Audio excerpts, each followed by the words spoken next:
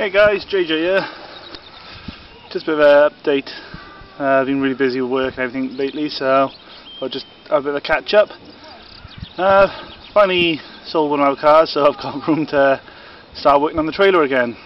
Uh, hopefully make a bit of progress and bring you along for that journey over the next few weeks. Uh, we're hoping to use it this year quite extensively. Uh, Bushcraft show. Um, hopefully they do another preppers meet. I've been able to keep up with uh, YouTube lately to see what the guys are doing. And as normal, every weekend we try and get out with the boys. And what a beautiful backdrop. Hopefully that's coming out alright on the camera. We've been out now for about three hours.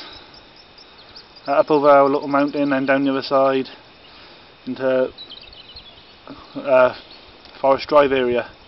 It's actually shut at the moment due to the virus in the trees, but you still walk through here. You can't drive, so. Um, hope you're all good out there, and I've got some photos from today I'm going to tag into the video somewhere, and we will catch you in a little bit.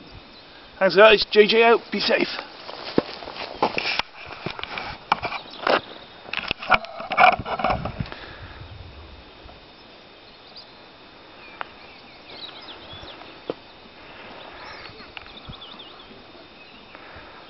Scenery.